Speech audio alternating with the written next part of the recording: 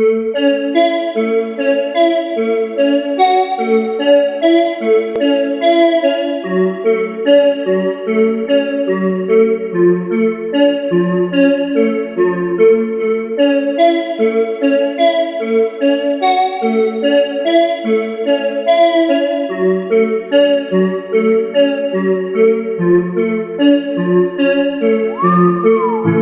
don't know what to do